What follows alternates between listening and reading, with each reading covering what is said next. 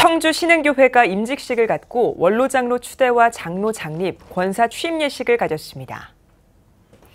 앞선 예배에서 말씀을 전한 기성 청주지방회장 김재식 목사는 하나님이 부르실 때 감사와 순종으로 나아가야 한다며 말씀과 기도, 성령 충만으로 승리하는 삶이 되길 바란다고 전했습니다.